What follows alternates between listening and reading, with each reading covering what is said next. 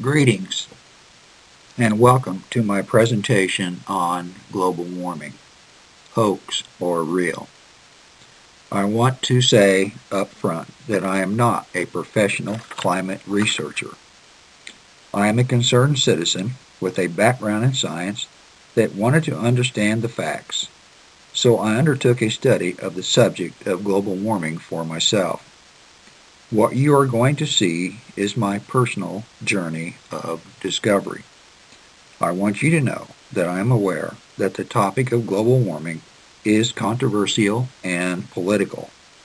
This PowerPoint presentation is a condensed version of a longer presentation that I have converted to a video for YouTube. As such, many important details have been briefly stated. At several points, I will ask you to pause the video to look over details. I have done this to reduce the upload time of this video. This presentation is not entertaining, but I hope you will find it informative. Be patient, listen, and learn.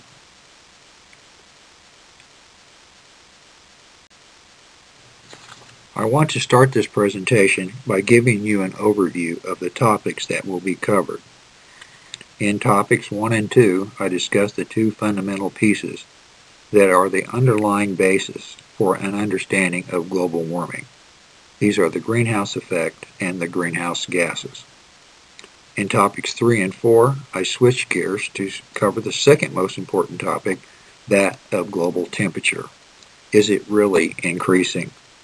In topic 5, I will consider the three most commonly mentioned natural causes of climate change, the sun, changes in Earth orbit, and volcanoes. Are they the cause? In topic 6, I'm going to backtrack to take another look at the greenhouse gases. You will learn about global warming potential and radiative forcing. These two topics are seldom made mention of in the news or the press. However, they are very revealing. In topic 7 and 8, I will show data about how much of the greenhouse gases in particular carbon dioxide, humans are putting into the Earth's climate system. To close this presentation in Topic 9, I show you the Intergovernmental Panel on Climate Change, the IPCC's, their global temperature projections for the years 2050 and 2100. You decide, is global warming a hoax or is it real? Topic 1. The greenhouse effect. While you look at this figure, I want to make some comments about the greenhouse effect because it is at the very base of an understanding of global warming. From what I have read, it appears to me that this natural phenomenon is well understood, and I could not find any papers, nor have I ever heard anyone say that the greenhouse effect is not real. Having said that, I want to give you an example of how it works. Imagine it's a hot summer day, say 95 degrees Fahrenheit. You decide to go to the mall and do some shopping. You pull out of your garage, arrive at the mall, and park your car under that overbearing sun. After three or four hours of shopping, you decide to head home. What do you notice when you open the car door? You get a rush of hot air. I tested this once with a thermometer I left in the car. The temperature outside was about 95 degrees Fahrenheit. I opened the door and got in. The thermometer read 125 degrees Fahrenheit. Well, the greenhouse effect works in a similar fashion. The Earth's atmosphere is like the windshield of a car. The sun's energy shines through and its energy is released as heat energy. Because of the nature of heat energy, it cannot escape back through the windshield. The Earth's atmosphere, like the windshield, traps some of the sun's energy here on the planet. Now let's look at figure 1. On the left, we see a representation of the Earth's atmosphere in 1750 before the start of the Industrial Revolution and on the right what the atmosphere might look like today if we could actually see the greenhouse gases. On the right, the atmosphere is shown as much redder, apparently caused by an increase in the chemical compounds carbon dioxide, methane, and nitrous oxide, suggesting that they are the cause of the increasing temperatures via the greenhouse effect.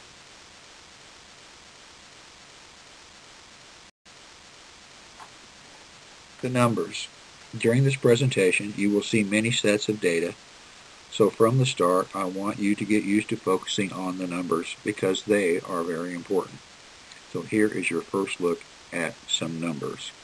You can pause the video to read over the details. Topic 2. The greenhouse gases.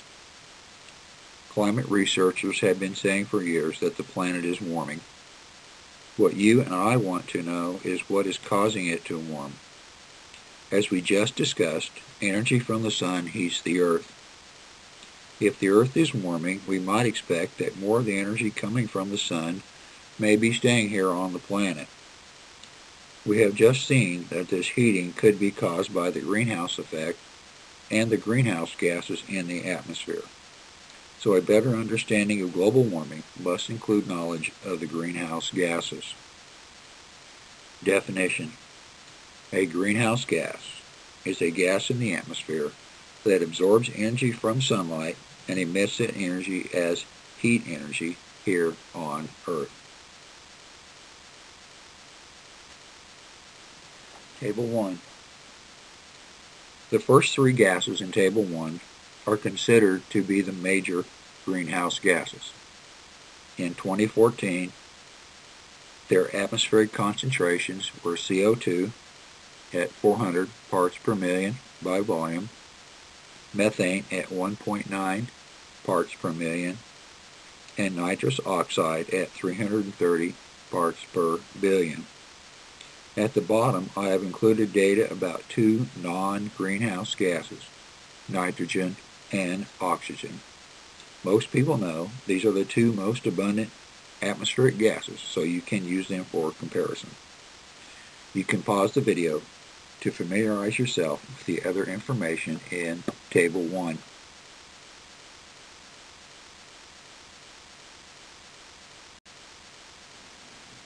If the greenhouse gases are playing a role in global warming, we need to know if their atmospheric levels are increasing.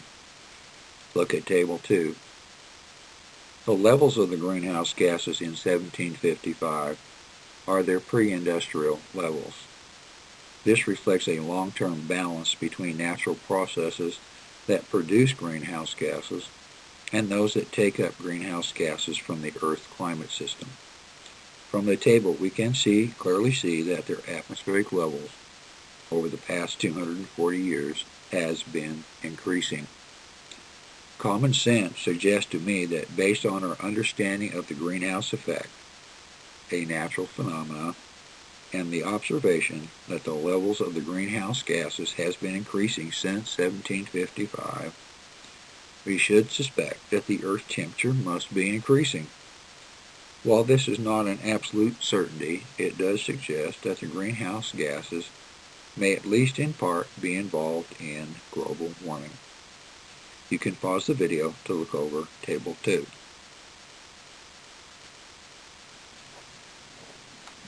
Temperature anomalies.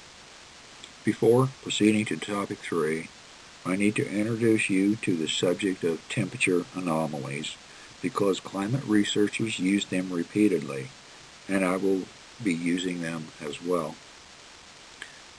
Simply put, a temperature anomaly is a departure from a mean or base period.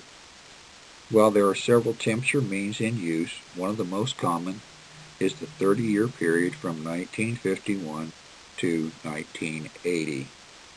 The average global temperature for this time was 14 degrees Celsius, or 57.2 degrees Fahrenheit. To plot temperature data, this period is used as the 0 degrees Celsius point on the y-axis of graphs of temperature versus time. You will see this type of graph on the next slide. To determine the actual temperature in real numbers, All you have to do is add or subtract the anomaly from the mean base period temperature. I have worked out an example on the slides that come after you have seen the graph on the next slide. Topic 3. Current trends in global warming. Now let's see what the temperature of Earth is doing. In Figure 3, we can see one of many graphs about the trends in temperature. If we take the data shown here at face value, what that is, we consider it to be, in a general sense, correct or close to being so, and we can surmise that the trend in global temperature is upward. From the reading I have done, there are several issues related to how this data is obtained and analyzed, but for the sake of brevity, I will not discuss them here. You will notice that the annual mean, the black line, goes up and down over periods of years to decades. This can be caused by such things as El Nino, La Nina events, large volcanic eruptions, and atmospheric and ocean current variations. Details for Figure 3. The current global temperature trend is upward. Consider a low point in 1880 of about minus 2 tenths of degrees Celsius from the graph and a high point in 2014 at about plus 0.65 degrees Celsius. This is an overall increase of 0.85 degrees Celsius or 1.53 degrees Fahrenheit since about 1880. The Intergovernmental Panel on Climate Change considers an increase of 2 degrees Celsius to be the warning zone and an increase of 3 degrees Celsius to be the danger zone. Think globally. On this slide and the next one, I show you how to use temperature anomalies. This slide shows you how to change temperature anomalies into actual degrees Celsius. You can pause the video to read over the information. The second part, how to change degrees Celsius into degrees Fahrenheit temperatures, which are which we are more familiar with. Again, you can pause the video to look over the details.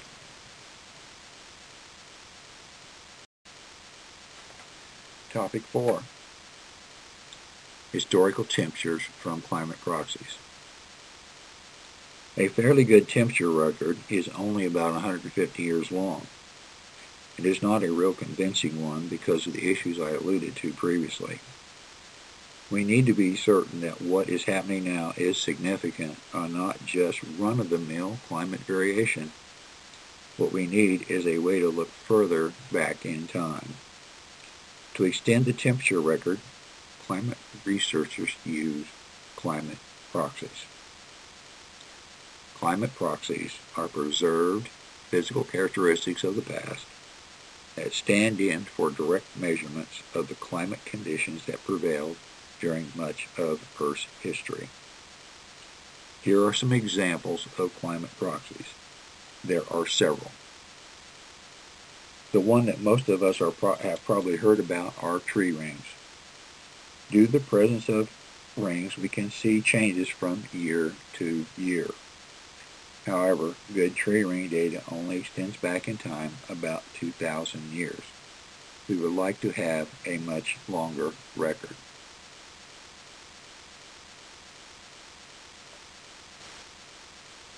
One of the longest records of past climate comes from ice cores. While ice cores have been drilled in many parts of the globe, the longest ice cores come from Antarctica. On this slide and on the next one you will see a picture of the continent of Antarctica showing the location of some of the ice cores that have been drilled and some facts about the three most important ice cores. You can pause the video Again, you can pause the video to look over the interesting details.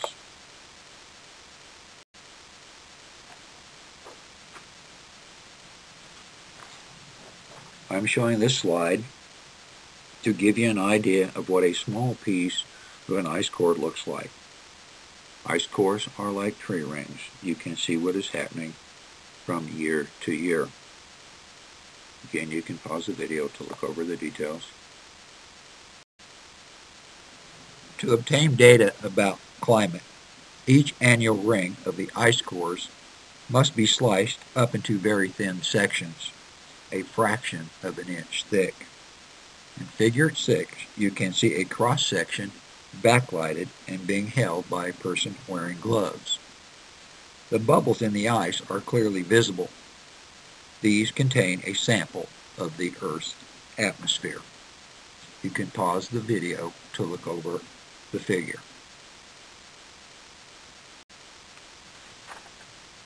There are two there are at least two very important things we want to know. Number 1, what were the temperatures in the past? And number 2, what were the levels of the greenhouse gases in the atmosphere in the past? You can pause the video to look over the details.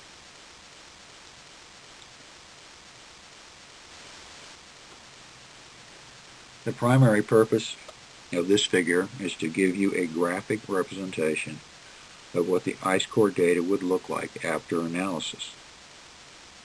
Here we see a plot of time versus temperature for the Vostok ice core, which goes back in time about 420,000 years. We can see four previous ice ages, or glacial periods, the valleys, with a global temperature temperatures were very cold, with temperature anomalies of about minus 8 degrees Celsius. And interglacial periods, the peaks, where global temperatures were several degrees warmer at about plus 2 degrees Celsius.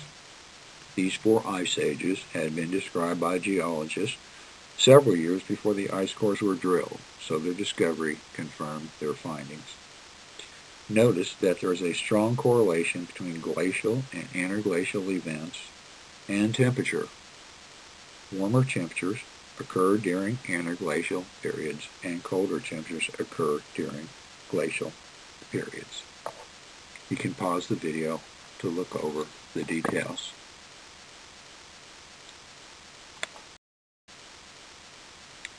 In the previous slide, we saw a correlation between temperature and the occurrence of ice ages over a very long period of time. This points out that the state of the Earth climate is at least in part temperature dependent. In Figure 8, we can see ice core data for temperature and atmospheric levels of carbon dioxide.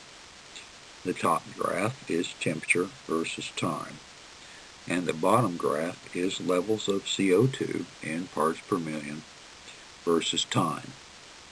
If the levels of the atmospheric greenhouse gases, such as carbon dioxide, are involved in global warming via the greenhouse effect, we would expect to see a correlation between temperature and the levels of carbon dioxide. What we would expect to see is when CO2 levels are high, the temperature will also be high and vice versa. When CO2 levels are low, the temperature should also be low, and indeed we do see this correlation. Both graphs go up and down in unison. The, the analysis of ice cores is complex, and there are several issues. You can read about one of these on the next slide.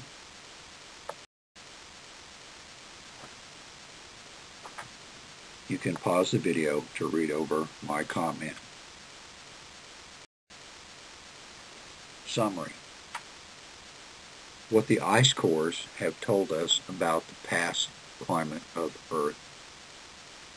At no time in the past 800,000 years has the atmospheric levels of CO2 ever been higher than 280 parts per million. We are currently at 400 parts per million, and it is still going up. Ice core measurements confirm that both the magnitude and the rate of recent increases in CO2 are unprecedented over the last 800,000 years. Points in particular. The fastest, largest natural increase of CO2 measured in ice cores is around 20 parts per million in a 1,000 year period. The CO2 emissions by humans were 20 parts per million in the last 10 years alone. The law ice core clearly shows that CO2 and methane levels began to increase shortly after the start of the Industrial Revolution. While climate proxies are not considered to be highly reliable, highly reliable because of assumptions that must be made to produce the data, they do provide us with an upper and lower range of temperatures and greenhouse gas levels for the past 800,000 years. Topic 5. Why is it warming? Could it have a natural cause? I have heard people say it's just natural variation. It's the sun. It's changes in the Earth's orbit or its volcanoes. Let's consider whether or not the changes we see occurring are just natural variation. The sun. The sun does not contribute greenhouse gases to Earth's atmosphere, but its energy, its sunlight, is the major source of heat energy for the planet. The issue is this. Is the sun putting more heat into the Earth's climate system than it has in the past? Since 1978, solar irradiance has been measured by satellites, and sunspot activity is recorded by telescopes here on Earth. Look at Figure 9. The top portion of the graph that covers the last 30 to 40 years does not show any significant variation in the amount of irradiance reaching the top of the atmosphere the exception being the portion of the curve to the right, showing a decrease in solar energy output since about 2010. If any notable effect is observed, it seems to me it would be a slight cooling trend. The bottom portion shows that sunspot activity has a high correlation with solar irradiance. These two sets of data reinforce the conclusion that the sun is not a major cause of the current global warming trend. Changes in Earth's orbit. Orbital forcing. There are at least three major ways that Earth orbit varies over the course of millennia. Its obliquity, its eccentricity, and its precession. Where the Earth is within each of these cycles has a significant effect on the amount of solar radiance and thus warmth that the planet gets from the Sun. I will discuss the first two as the conclusion for all three is the same. Axial tilt. The angle of the Earth's axial tilt varies over time, ranging from a minimum of 22.1 degrees to a maximum of 24.5 degrees and then back again. It takes about 20,000 years to go from its minimum to its maximum. The current axial tilt is 23.44 degrees, roughly halfway between its extreme values. The tilt is in the decreasing phase of the cycle, headed to 22.1 degrees and will reach its minimum value around the year 11,800 AD. The last maximum was reached in 8,700 BC. This data suggests that the Earth orbit is in a neutral phase as far as its effect on global climate, suggesting that its current tilt is not a major cause of global warming. Earth orbit around the Sun. The shape of the Earth's orbit varies from nearly circular to a more oval shape and then back again. It takes about 100,000 years to complete this cycle. Currently, we are in an orbit of near circular, which does not bring the Earth closer to the Sun and will not do so for several thousand years. we are in a neutral orbit, one that is not heading for an ice age and one that is not heading for global warming in several thousand years. Topic 5-3 Volcanoes, a possible source of greenhouse gases. What about volcanoes? When one looks at a volcanic plume, one can easily imagine bad things happening. Here we see the eruption of Mount Pinatubo in the Philippine Islands in 1991. It was one of the largest eruptions of the 20th century. But what is that plume cloud made of? Most of the plume is water vapor, not carbon dioxide. For this volcano, the other major gas was sulfur dioxide. It is not a greenhouse gas, but actually causes global cooling. In addition, sulfur dioxide does produce acid rain, which is very harmful to the environment.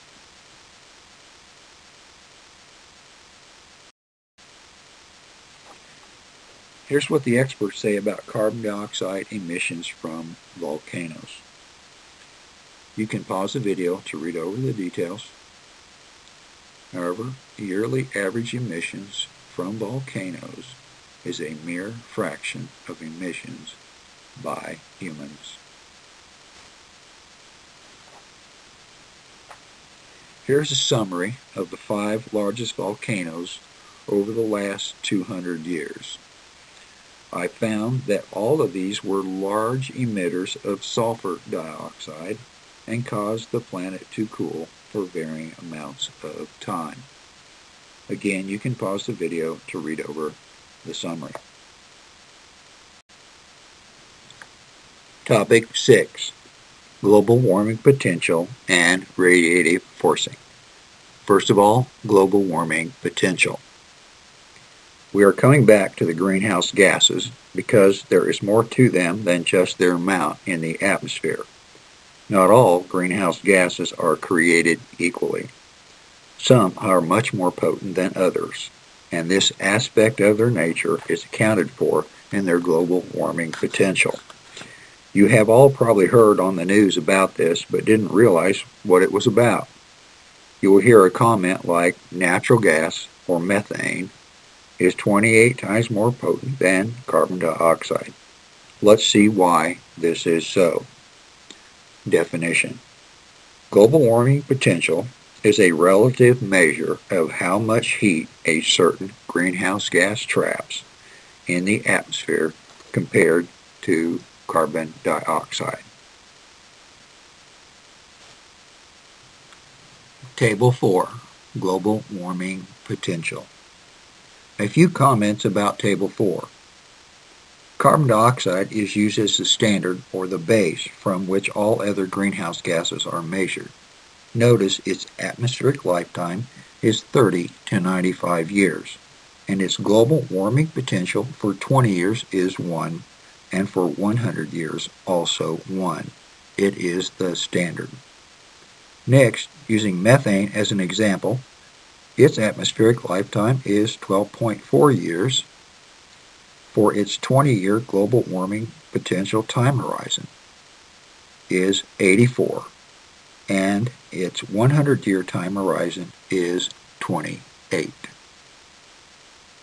Most important point you need to take with you from this table is this.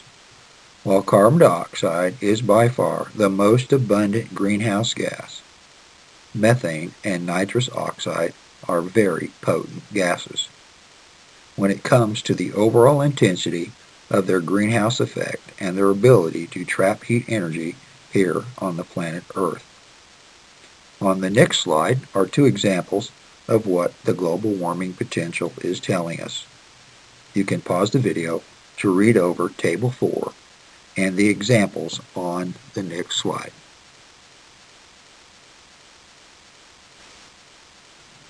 These two examples will give you a better idea of what the global warming potential is telling us.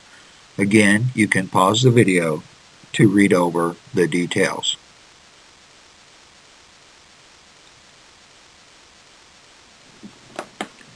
Radiative forcing. is the Earth in an energy imbalance? Definition Radiative forcing is a measure of the difference between the incoming energy from the Sun and the amount of energy leaving the Earth. Satellites have been orbiting the Earth since about 1978. There are satellites looking out that are measuring the amount of energy incoming from the Sun, and others looking in at the Earth and measuring how much energy is going out. The satellite data is very complex, but it does provide an estimate of radiative forcing of 0.8 to 2.4 watts per square meter. This indicates that the Earth is keeping in more of the energy from the Sun. What we need to understand in this presentation is what is causing the extra energy to be trapped. It is like putting a heavy blanket over the planet. There are only three ways in which radiative forcing of the planet can be changed. 1. Changes in energy from the Sun. As we saw previously, for the past 30 to 40 years, this has been ruled out. Changes in greenhouse gases in the atmosphere. We have also seen in this presentation that the levels of the greenhouse gases are increasing. And number three, changes in albedo due to aerosols such as volcanic activity and cloud cover.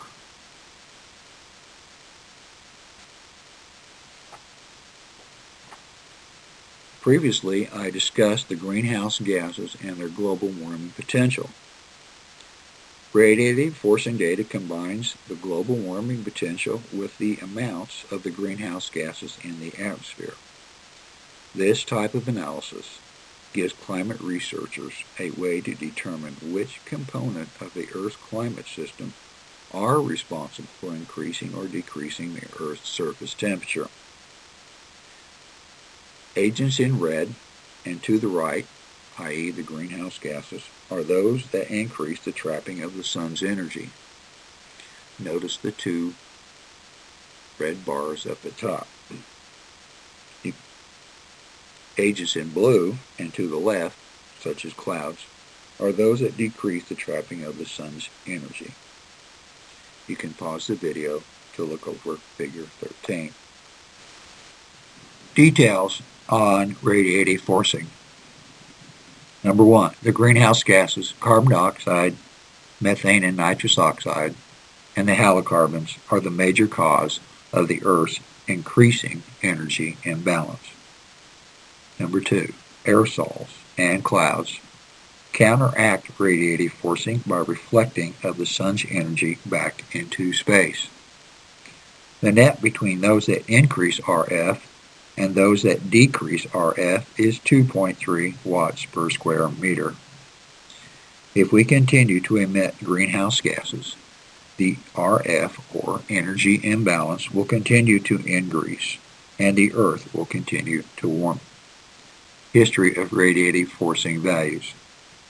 In 1750, the Earth was in an energy balance. Incoming energy equaled outgoing energy. 0 watts per square meter. In 2005, it increased to 1.6 watts per square meter. In 2014, the most current measurement, we are at 2.3 watts per meter squared. Future projections are for 2.6 to 8.5 watts per square meter. This depends on the choices we make in the amount of fossil fuels that we burn.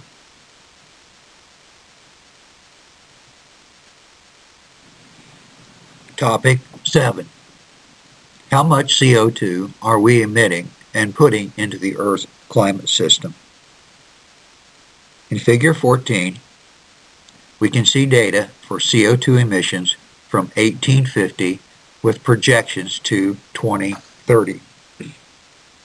As shown on the graph, human CO2 emissions from the burning of fossil fuels has increased at a fairly steady rate since 1850, with larger increases since 1950. In 2010, we emitted about 37 billion tons of CO2. In 2030, projections for CO2 emissions could reach 45 billion tons per year. We are emitting very large amounts of CO2 into the climate system each year.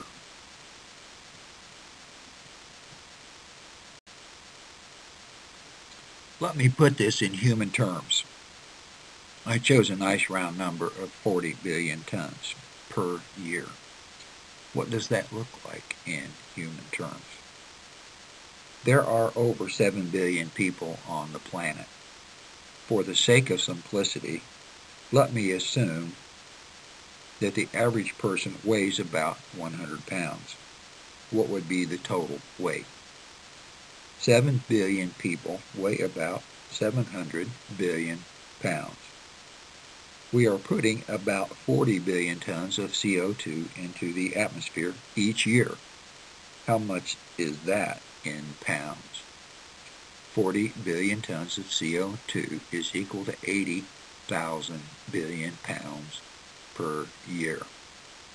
This means that the amount of CO2 that we are putting into the Earth's climate system is about 114 times larger, or 11,000%, than the total weight of the human race. Do you get the feeling we might be overdoing it just a bit? Where does all that CO2 go? Well, 30% is absorbed by the ocean, 30% is stored in the land, and 40% remains in the atmosphere. The IPCC estimates that since 1750, the cumulative human emissions of carbon dioxide is about 1,890 gigatons, or almost 2 trillion tons. A large amount of CO2 in the oceans has resulted in ocean acidification, which could have a dramatic effect on some marine life forms. Where does all the heat energy go? In figure 16, we can see that 93% of the heat energy gained by the planet has gone into the oceans. The other 7% has been absorbed by the land surfaces, the atmosphere, and into the melting of ice. You can pause the video to look over the details. Up to this point, I have talked mostly about carbon dioxide. However, the other greenhouse gases are also significant factors in global warming. In Figure 17, we can see how the emissions of the greenhouse gases have increased since 1990. Carbon dioxide emissions account for 77% of the total, and the other greenhouse gases account for 23%. In 1990, world total greenhouse gas emissions were at about 35 billion metric tons. In 2010, total world global greenhouse gas emissions were at about 45 billion metric tons. Those are huge numbers. Here is something for all of us to think about. What has happened on the earth since the start of the Industrial Revolution? In 1750, at the start of the Industrial Revolution, the world population was less than 1 billion. By 1950, it had reached about 2.5 billion. By 2015, we were at 7 billion and growing. By 2050, the estimate is for 9 billion. The use of the planet's energy resources is being driven by the growth of our population and our desire to improve our living standard. The world average per capita greenhouse gas emissions is about 5.6 tons per year per person. This means that for each person born, an additional 5.6 tons per year of greenhouse gases will be emitted into the Earth's climate system.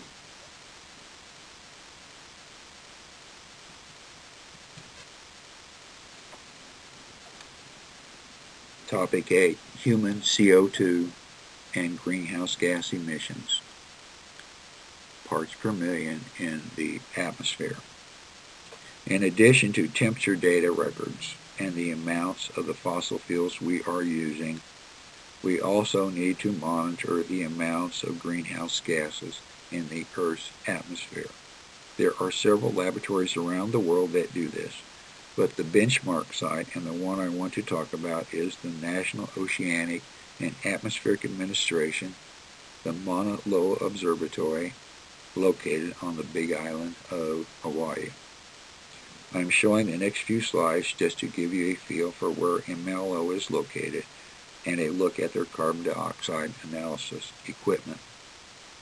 You can pause the slide to look over the details. Figure 21, you can see the carbon dioxide collection and analysis equipment. You can pause the video to read over the details. 8-2, the best data on atmospheric levels of CO2. The following chart plots the monthly mean atmospheric carbon dioxide levels at Mauna Loa Observatory in Hawaii. The data is from 1958 to November 2015, a period of 57 years. Since 1958, there has been a steady increase in CO2 from 310 parts per million to 401 parts per million. That is an increase of 29%. That is also an average about 1.6 parts per million per year. In 2014, CO2 levels in the atmosphere were increasing at about 2.3 parts per million, and it is expected to increase as we use more fossil fuels.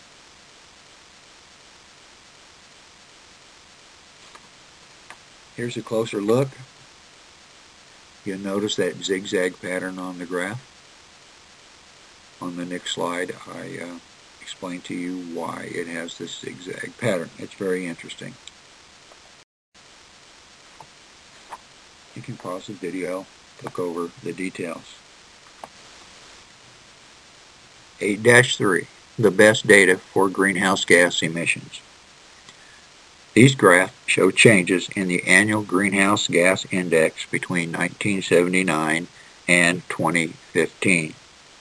There are 214 stations in 51 different countries collecting data relevant to worldwide greenhouse gas atmospheric levels. The levels of the three major greenhouse gases are steadily increasing. As a result, we should expect radiative forcing or energy imbalance to increase and cause an increase in the Earth's global mean surface temperature.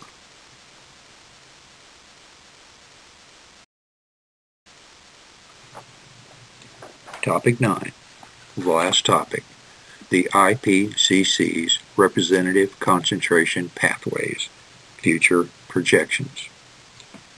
When fossil fuels, such as oil, coal, and natural gas, are burned to produce energy or make consumer goods, the major byproduct is carbon dioxide along with some methane and nitrous oxide. We are using very large amounts of these fuels. And as a result, very large amounts of carbon dioxide are being put into the Earth's climate system. What are the consequences of doing this? Here is a quick summary. The release of greenhouse gases into the atmosphere enhances the greenhouse effect, which in turn traps more of the sun's energy here on the planet. This can be best understood by the global warming potential and radiative forcing data shown in this presentation. As a result, the planet will continue to warm. If we continue using massive amounts of fossil fuel, the planet will continue to heat up. The more we use, the hotter it will get.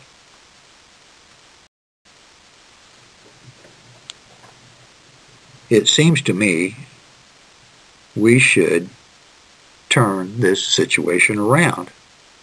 How can we do that? The Intergovernmental Panel on Climate Change has chosen four representative pathways as scenarios that lay out an outline of what needs to be done to reach a certain goal. The names of scenarios have been given come from radiative forcing numbers, which I discussed previously.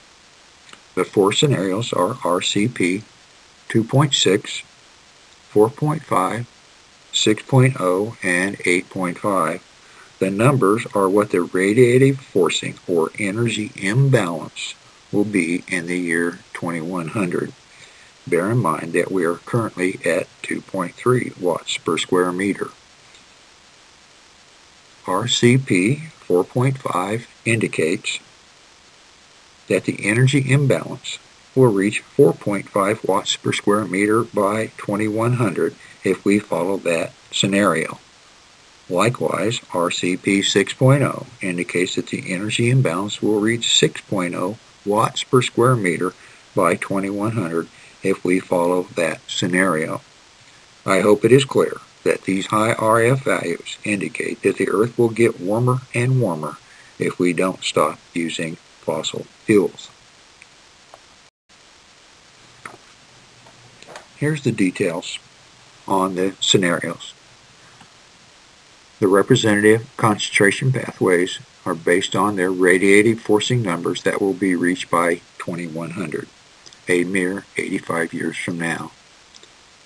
For the 2.6 scenario, we will have to reduce our use of fossil fuels, oil, coal, and natural gas to near zero levels to keep the global temperature from increasing a significant amount. This can be accomplished by expanding alternative energies such as solar, wind, and others. For scenarios 4.5 and 6.0, these are intermediate pathways. Both will require a substantial decrease in our usage of fossil fuels. The amount we decrease will determine the resulting radiative forcing numbers and as a consequence the global mean surface temperature. 8.5 scenario is the business as usual scenario. It is what we are currently doing. This will increase the radiative forcing to 8.5 watts per square meter by 2100. The most likely outcome of this will be a very warm planet. Table 5 summarizes the IPCC's projected temperature outcomes for the four scenarios. The temperatures in this table are temperature anomalies. On the next slide, I give you a quick review of how to change temperature anomalies into degrees Celsius and degrees Fahrenheit. Let's consider two of these scenarios in detail. 2.6, which is the best case scenario, and 8.5, which is the worst case scenario. For 2.6, we will have to reduce our dependency on fossil fuels to near zero by the year 2100. If we can do this, we will be able to keep the global mean surface temperature of the planet at about 1 degree Celsius. Be sure to notice the range of uncertainty shown in Table 5. If you would like to know how we can do this, I suggest you read the 20 November 2015 issue of National Geographics entitled Cool It, the Climate Issue. This entire issue is about global warming and it contains a great deal of information you will understand. You can probably get it at your local library. At the end of this video, I will give you this reference once again. 8.5 is known as the business as usual scenario. If we continue to use fossil fuels at our current rate or increase them as is the most likely outcome because of the increasing population of the planet, the temperature in 2100 could reach 3.7 degrees Celsius which is almost 7 degrees Fahrenheit, for the mean, or if we are unlucky, it could get to 4.8 degrees Celsius or almost 9 degrees Fahrenheit. Do you understand what this really means? I will talk in terms of degrees Fahrenheit because most of us can relate to that. Consider a global mean surface temperature increase of almost 7 degrees Fahrenheit by the year 2100. For every day and for every place on the planet, the average temperature will be 6.7 degrees higher than it is today. So on a spring day, when it's say 50 degrees Fahrenheit, now the average spring day in 2100 would be about 57 degrees Fahrenheit.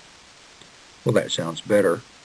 But if it is now 95 degrees in the summer, then in 2100, the average summer day on the planet would be about 102 degrees Fahrenheit.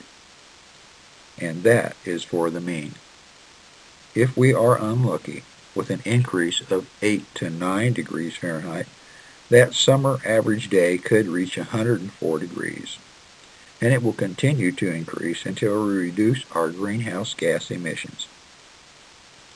In my opinion, and in the opinion of the experts, the planet's ecosystems, the ones that support our existence, will be severely damaged by these high levels of temperatures.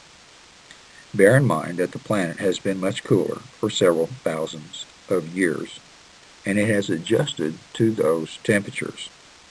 A sudden change, such as the one we are going through now, will have a large negative effect on the planet's life forms and as a result on us.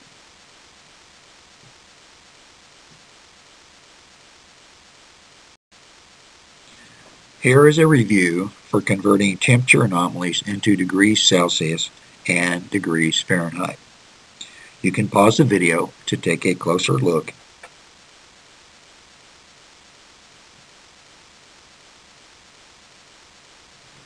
Based on what you have seen here, is global warming a hoax? or is it real? You decide. Either way, everyone on this planet has a front row seat. Here are two publications you should read.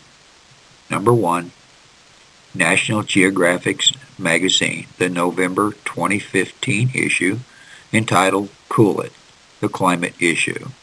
This entire issue addresses global warming what is happening, and what we can do. You can probably find this issue at your local library. The second recommendation is Merchants of Doubt. This book documents how a handful of scientists and pundits are creating confusion about global warming and who is behind creating that confusion. There are also videos on YouTube and I did watch several of them. However, they do not do the book justice. So, read the book. It is a wake-up call for all of us. You can probably get it through your library. I did. Closing comments. I would ask all of you to become educated about global warming.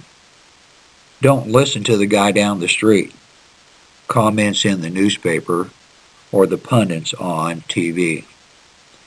You can use the keywords in my outline to start your personal study. I would also recommend that you look at the IPCC's website. I have given you the address below. It is a scientific document and a very tough read, but each chapter has an executive summary at the beginning that is only three to four pages long. You should at least read them, then decide. Thank you for listening. I sincerely hope you have learned something and are now more informed about global warming.